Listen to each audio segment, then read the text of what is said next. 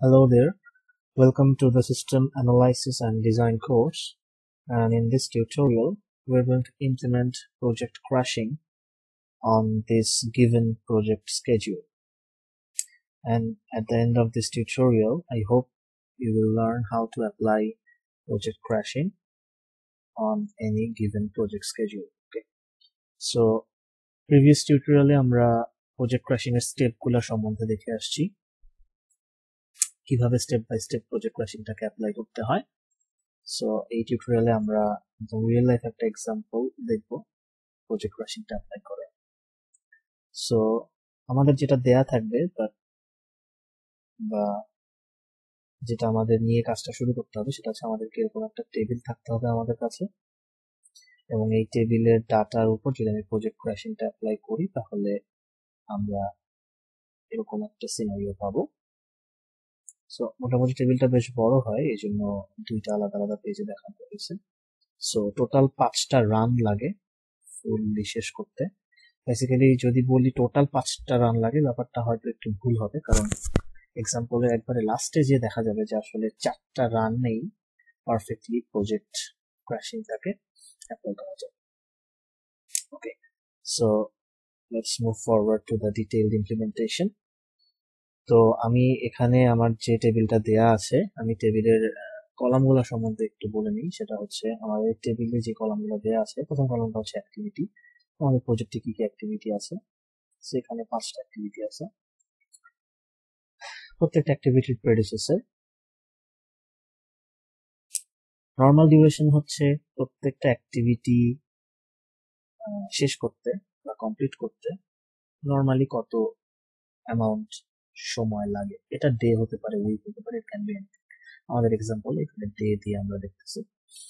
So normal duration হচ্ছে প্রত্যেকটা activity শেষ করতে নর্মালি কি পরিমাণ লাগবে ক্র্যাশ ডিউরেশন ক্র্যাশ ডিউরেশন বলতে বোঝায় যে আমি একটা অ্যাক্টিভিটিকে হায়েস্ট বা ম্যাক্সিমাম কতটুকু কম্প্রেস করতে পারব বা একটা কাজ করতে মিনিমাম কতদিন সময় আমার লাগবে ওকে সো ক্র্যাশ ডিউরেশন বলতে বেসিক্যালি কি বোঝাবে? ক্র্যাশ ডিউরেশন বলতে বেসিক্যালি বোঝাবে যে একটা অ্যাক্টিভিটি কে যদি আমি কম্প্রেস করে আনি, অর্থাৎ বেশি পরিমাণ রিসোর্স অ্যাড করে যদি আমি কাজটা তাড়াতাড়ি শেষ করতে চাই সো মিনিমাম আমার অ্যাটলিস্ট কতদিন লাগবে কাজটা শেষ হতে? ওকে সাপোজ আমি যদি একটু এক্সপ্লেইন করি, সেটা হচ্ছে সাপোজ এ এর ক্ষেত্রে এ নর্মালি দুই দিন লাগে এবং এর ক্র্যাশ ডিউরেশনও হচ্ছে দুই দিন। কথাটার অর্থ হচ্ছে আমি যদি এখানে অ্যাডিশনাল রিসোর্স ইউজ করিও স্টিল আমার এই কাজটা করতে দুই দিন সময় লাগে।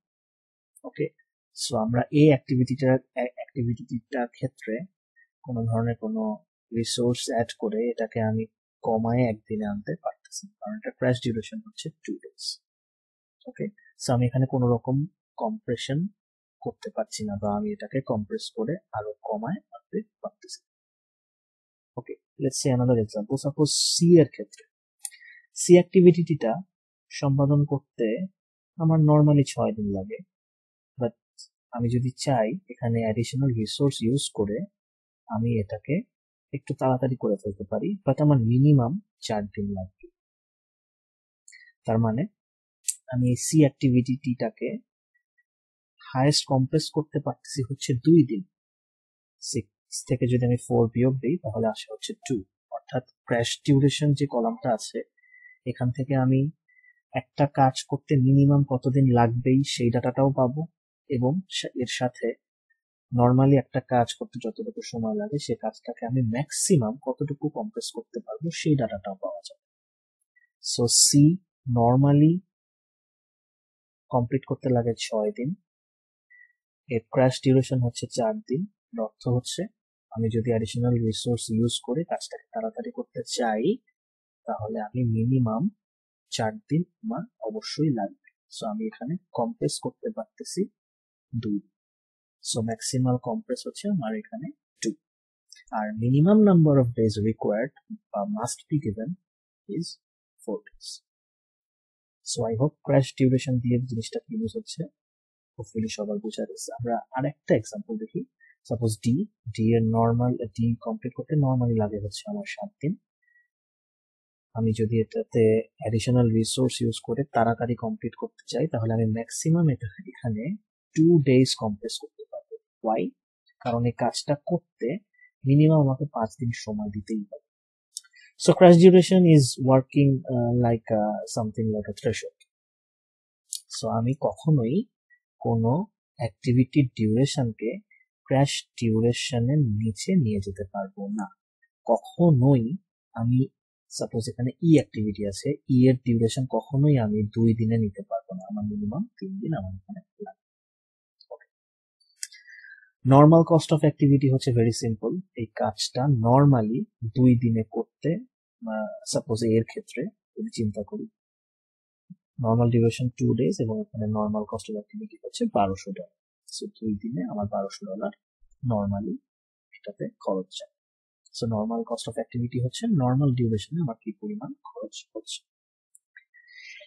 Additional crash cost per day এই কথাটার অর্থ হচ্ছে যে আমি যত পরিমাণ ক্র্যাশিং অ্যাপ্লাই করব পার ডেতে আমার কি পরিমাণ কস্ট যাবে?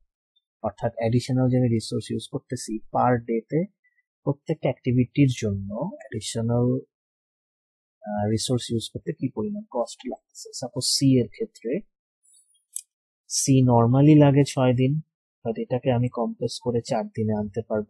আমি এখানে ম্যাক্সিমাম কম্প্রেস করতে পারছি দুই দিন এবং মিনিমাম আমার চার দিন এই কাজটা করতে লাগবেই। চারের নিচে আমি নেমে কখনোই তিন দিনে কাজটা করতে পারব না। এবং পার ডে আমার চারশো ডলার করে খরচ বাড়তে থাকবে।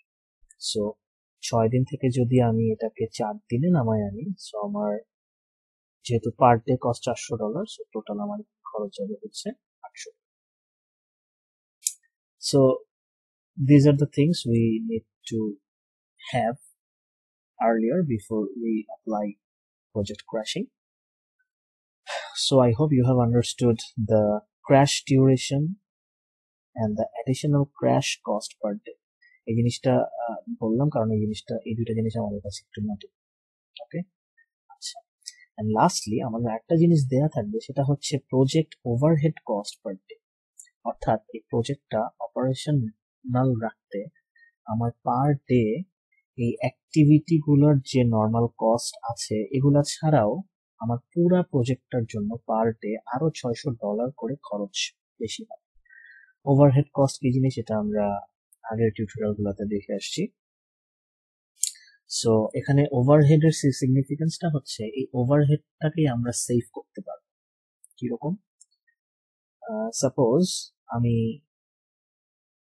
খুবই নর্মাল একটা এক্সাম্পল দিই যে একটা কাজ করতে সাপোজ আমার দশ দিন লাগে আমি যদি প্রজেক্ট ক্র্যাশিং অ্যাপ্লাই করি, এটাকে যদি আমি কোনোভাবে আট দিনে আনতে পারি হ্যাঁ আমার কিছু অ্যাডিশনাল কস্ট অ্যাড করতে হবে কাজটা সম্পাদন করার জন্য। বাট এই পার ডে যে ওভারহেড কস্টটা আছে, এই ছয়শো ডলার পার ডে আমি কিন্তু প্রতিদিন, এই দুই দিনে ছয়শো ছয়শো টোটাল বারোশো ডলার আমি সেভ করতে পারছি। দশ দিন লাগতেছে আমার টোটাল কাজটা করতে, এটাকে আমি কম্প্রেস করে আট দিনে নিয়ে আসতেছি। সো ম্যাক্সিমাম কম্প্রেশন হচ্ছে এখানে টু ডেজ পার ডে আমি ওভারহেড কস্টটাকে সেভ করতে পারি। সো আমার টোটাল আমি সেভ করতে পারব হচ্ছে বারোশো ডলার পার ডে এবং এই ওভারহেড কস্টটাই হচ্ছে আমাদের এই প্রজেক্ট ক্রাশিং এক্সাম্পলে সেভিংস নামে যে টার্মটা আছে, সেটার ভ্যালু ইন্ডিকেট করবে। ওকে সো প্রজেক্ট ক্রাশিং কয়েকটা run run by run apply করে করে যেতে হবে। It's like an iteration so iteration wise আগালে আমরা এরকম একটা অবস্থাতে দাঁড়াবো।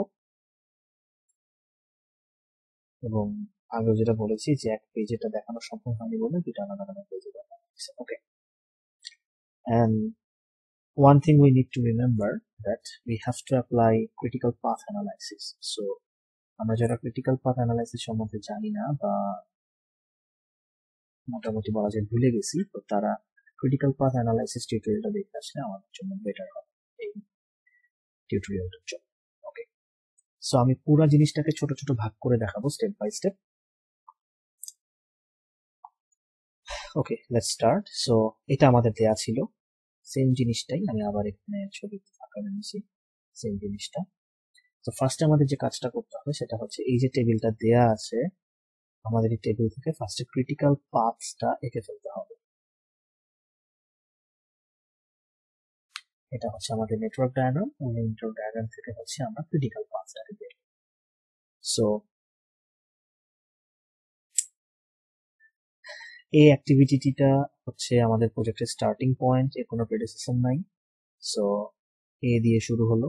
এর আর্লি স্টার্ট হচ্ছে জিরো যেহেতু এর ডিউরেশন টু সো এর আর্লি ফিনিশ হচ্ছে টু বি ওর প্রেডিসেসর হচ্ছে এ সো এর আর্লি ফিনিশটা বি এর আর্লি স্টার্ট হিসেবে কাজ করবে এবং বি এর ডিউরেশন যেহেতু ফাইভ সো বি এর ডিউরেশন হবে সেভেন সি এবং ডি দুইজনেরই প্রেডিসেসর হচ্ছে বি সো এই বি এর আর্লি ফিনিশটা সি এবং ডি দুইজনেরই আর্লি স্টার্ট হিসেবে কাজ করবে। সো সি এরও আর্লি স্টার্ট সেভেন ডি এরও আর্লি স্টার্ট হচ্ছে সেভেন সি এর duration six so early finish দাঁড়াচ্ছে সি এর থার্টিন ডেজ আর ডি এর ডিউরেশন সেভেন সো ডি এর আর্লি ফিনিশ দাঁড়াচ্ছে fourteen days now we come to E E এর প্রেডিসেসর হচ্ছে সি এবং ডি সো সি এবং ডি যেহেতু দুইজনই ওর প্রেডিসেসর এদের মধ্যে যার আর্লি ফিনিশটার ভ্যালু বড়, সেটাই ই এর আর্লি স্টার্ট হিসেবে কাজ করবে সো সি এর early finish thirteen days D এর early finish fourteen days so ক্ষেত্রে আমরা ফোরটিনটা পিক করব, যেটা ই এর আর্লি স্টার্ট হিসেবে কাজ করবে ই এর duration four days normally so E এর আর্লি ফিনিশটা হচ্ছে eighteen days so this is call forward pass এবং সেম ভাবে হচ্ছে আমরা এখন ব্যাকওয়ার্ড পাসটা অ্যাপ্লাই করব। Last অ্যাক্টিভিটির early finish and late finish same so late finish থেকে ডিউরেশনকে বিয়োগ দিলে আমরা লেট স্টার্ট পাবো। সো চোদ্দ, আঠারো থেকে চার যদি বিয়োগ দিই তাহলে ফোরটিন ডেজ বা চোদ্দ দিন আসে। এই চোদ্দটা আমার সি এর লেট ফিনিশ হিসেবে কাজ করবে ডি এরও লেট ফিনিশ হিসেবে কাজ করবে। চোদ্দ থেকে সাত গেলে ডি এর জন্য লেট স্টার্ট আছে সাত দিন। আর সি এর জন্য চোদ্দ থেকে যদি ছয় বিয়োগ করি, তাহলে সি এর লেট স্টার্ট আসে আট দিন। ফরওয়ার্ড পাসে হাইয়েস্ট ভ্যালুটা নেওয়া হয় যদি দুইটা প্রেডিসেসর থাকে। ব্যাকওয়ার্ড পাসে ঠিক উল্টাটা। সো বি এর ক্ষেত্রে সি এর আট হচ্ছে সি এর জন্য আট হচ্ছে লেট স্টার্ট বি এর জন্য লেট স্টার্ট হচ্ছে সেভেন সো আট আর সাতের মধ্যে যেটা সবচেয়ে ছোট সেটাই হচ্ছে বি এর লেট ফিনিশ হিসেবে কাজ করবে। সো বি এর লেট ফিনিশ হচ্ছে সেভেন সেভেন থেকে ফাইভ গেলে হচ্ছে আমার বি এর লেট ফিনিশ পাচ্ছি লেট স্টার্ট পাচ্ছি লেট স্টার্ট টু এই টুটাই এর লেট ফিনিশ হিসেবে কাজ করবে এবং টু থেকে যদি টু কে বিয়োগ করি তাহলে লেট স্টার্ট হচ্ছে জিরো অ্যান্ড আই হোপ আমরা টোটাল ফ্লো কীভাবে বের করে সেটা সম্বন্ধে জানি।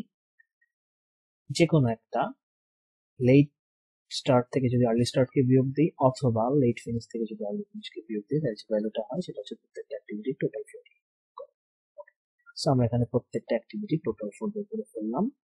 তো সি ছাড়া বাকি যতগুলো অ্যাক্টিভিটি আছে, সবারই টোটাল ফ্লোটের ভ্যালু আসছে জিরো সো আমার ক্রিটিক্যাল পাথটা হবে হচ্ছে এ থেকে বি বি থেকে ডি ডি থেকে ই সো আমরা একদমই ইনিশিয়াল স্টেজে আছি, আমরা জাস্ট ক্রিটিক্যাল পাথটা অ্যানালাইসিস করছি। এখন আমাদের কাজ হবে,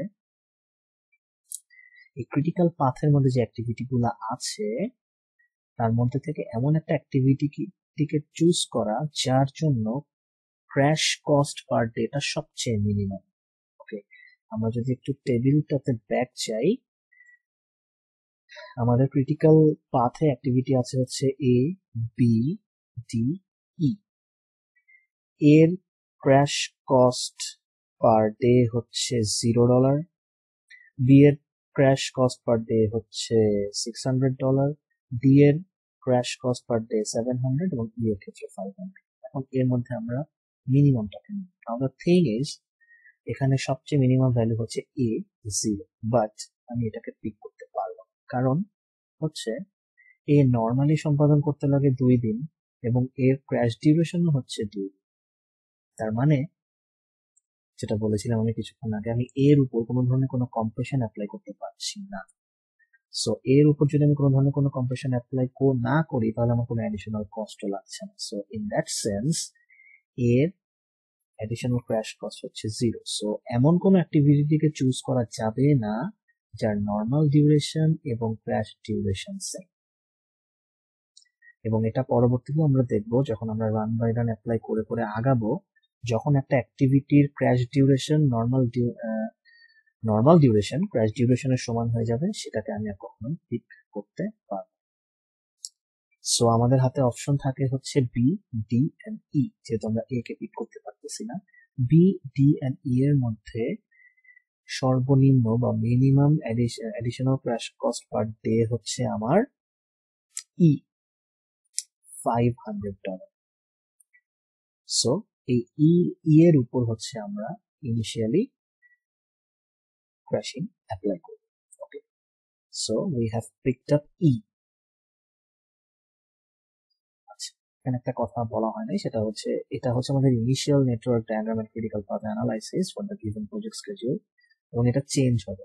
এটা আমরা কিছুক্ষণ কিছু দূর আগালে দেখা যাবে আমাদের ক্রিটিক্যাল পাথটা চেঞ্জ হয়ে গেছে। So this will get updated after runs run by run এটা আপডেট ওকে সো যেহেতু আমরা ই কে পিক করছি ওকে সো আমরা ফার্স্ট অফ অল ই এর উপর অ্যাপ্লাই করি। তো, আমাদের যে টেবিলটা দেয়া ছিল, সেখান থেকে আমাদের যে টেবিলটা বানাতে হবে, তার প্রথম অংশটা হচ্ছে এইটা। অ্যাক্টিভিটি গুলাকে রাখা হয়েছে এখানে ইনিশিয়ালি নর্মাল ডিউরেশনগুলো রাখা হয়েছে প্রত্যেকের ক্র্যাশ ডিউরেশনটা নেওয়া হয়েছে এবং ক্র্যাশ কস্ট পার ডেটা নেওয়া হয়েছে ওই টেবিল এবং ক্রিটিক্যাল পাথ অ্যানালাইসিস করে কিন্তু আমি প্রত্যেকটা অ্যাক্টিভিটির টোটাল ফ্লোটা পেয়ে গেছি so C a total float 1, বাকি সবারই total float 0. Okay. So now, the thing is, আমাদের ইনিশিয়ালি আমরা যখন প্রজেক্ট স্কেডিউলটা বানাইছি, তখন আমাদের ইনিশিয়াল প্ল্যান বা বাজেটে কস্ট কতটুকু ছিল? সেই কস্টটা হচ্ছে আট হাজার একশো প্লাস ছয়শো গুণ আঠারো। এই হিসাবটা কীভাবে আমরা পেলাম? আচ্ছা আট হাজার একশো হচ্ছে, আমরা যদি একটু টেবিলটাতে ব্যাক করি, আট হাজার একশো হচ্ছে প্রত্যেকটা অ্যাক্টিভিটির নর্মাল কস্ট এই প্রত্যেকটা অ্যাক্টিভিটির নর্মাল কস্টকে যদি আমি যোগ করি, তাহলে আসে হচ্ছে আমার আট হাজার একশো। এবং এর সাথে যোগ করা হয়েছে project overhead into the project duration আমার project over overhead cost per day আছে ছয়শো ডলার এবং ক্রিটিক্যাল পাথ অ্যানালাইসিস করে আমি দেখলাম আমার প্রজেক্ট ডিউরেশনটা আসতেছে হচ্ছে আঠারো দিন। সো এই আঠারোর সাথে ছয়শো গুণ করলে আসে হচ্ছে আমার দশ হাজার আটশো। সো এই আট হাজার একশোর সাথে দশ হাজার আটশো যদি আমি যোগ করি, তাহলে আসে হচ্ছে আঠারো হাজার পাঁচশো। এবং কাজে নামার আগে ঠিক আগ মুহূর্তে আমার কোনো ধরনের কোনো সেভিংস ছিল না। সো দ্যাটস আমার সেভিংস এর ভ্যালু হচ্ছে জিরো সো আগে টিউটোরিয়ালটাতে আমরা যে সূত্রটা দেখে আসছি, আমরা কস্টের সাথে যোগ করব হচ্ছে আমাদের last updated total project cost so যেহেতু এটা এটাই ইনিশিয়াল কস্ট সো এই, এটাই হবে হচ্ছে আমার টোটাল কস্ট এবং কস্ট থেকে হচ্ছে আমরা কাকে বিয়োগ দিব? সেভিংস কে বিয়োগ সো যেহেতু আমার কোনো সেভিংস নাই টোটাল কস্ট থেকে সেভিংস কে বিয়োগ দিলে হচ্ছে আমার আঠারো হাজার সো এটা হচ্ছে আমার, আমরা যে নতুন টেবিলটা বানাবো তার একদম ফার্স্ট পার্টটা যেখানে প্রত্যেকটা activity normal duration crash duration crash cost per day total float থাকবে। এবং ইনিশিয়ালি আমার কতটুকু কস্ট কতটুকু সেভিং সেটা দেওয়া থাকবে এবং সেখান থেকে হচ্ছে আমি টোটাল প্রজেক্ট কস্ট পেয়ে যাব এবং টোটাল প্রজেক্ট ডিউরেশনটা হচ্ছে আমরা ক্রিটিক্যাল অ্যানালাইসিস করে পেয়েছি সো টিউটোরিয়ালটা যেহেতু অনেক বড় হয়ে যাচ্ছে সো আমি টিউটোরিয়ালটাকে ভাগ করে নেক্সট ভাগে বাকি যে পার্টটা আছে সেটাকে আমি এক্সপ্লেইন করব। সো আই হোপ এতটুকু পর্যন্ত সবকিছু বোঝা গেছে। So in the next tutorial we will finish our running example Thank you.